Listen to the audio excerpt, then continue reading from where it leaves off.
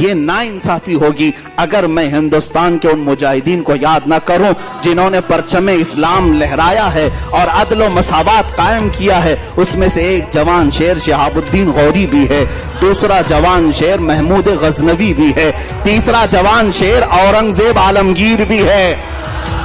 ये तीनों जुमले जो मैंने कहा, ये पेट में सीधे गढ़ते हैं, आँखों में सीधे चुभते हैं।